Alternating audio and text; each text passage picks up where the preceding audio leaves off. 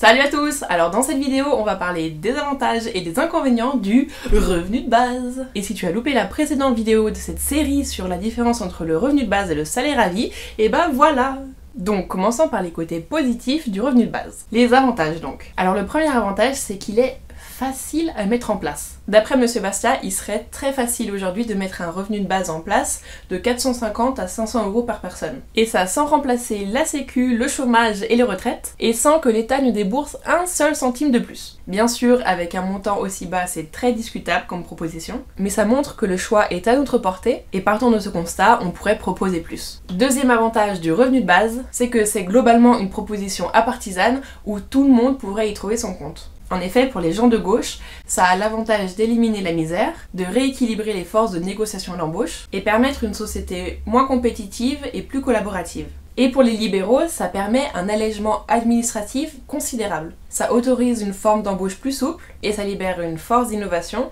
et d'auto-entrepreneuriat. Troisième avantage, c'est que ce modèle est soutenu par beaucoup de données. Même si les expériences de ce type ont toujours été conduites à une échelle réduite, elles ont démontré des résultats super encourageants, avec une meilleure activité économique, un déclin marqué de la consommation de drogue, mais aussi une baisse des hospitalisations psychiatriques ainsi que de la criminalité. Donc le revenu de base a vraiment une portée bénéfique qui s'étend au-delà de la sphère économique. Et on sait tous que le facteur humain, c'est un atout majeur. Maintenant, quels sont les inconvénients du revenu de base? Alors de 1, il est trop abstrait, parce qu'il existe autant de revenus de base que de partisans de celui-ci. Et dans certains cas, ça peut vraiment faire beaucoup plus de mal que de bien. Par exemple, si le revenu de base est à peine équivalent au RSA et qu'il est soumis à des conditions diverses. Genre si en contrepartie on est obligé de chercher un emploi ou si on est obligé de faire du bénévolat. Et ça pourrait très bien être une excuse pour supprimer des avancées sociales majeures, comme supprimer la sécurité sociale ou alors les cotisations retraite ou l'assurance chômage. Donc cette absence de clarté du revenu de base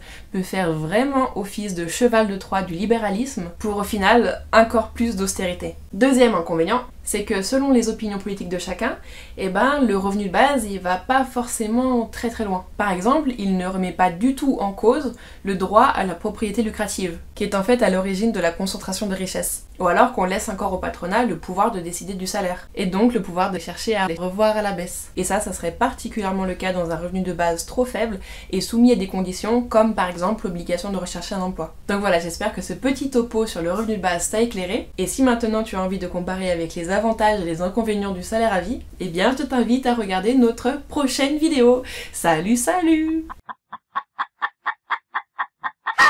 Voilà, on espère que cette vidéo t'a plu. Et si tu veux en savoir plus sur les avantages et les inconvénients de cette fois-ci du salaire à vie, eh bien clique sur cette petite vidéo qui se trouve sur ma chaîne.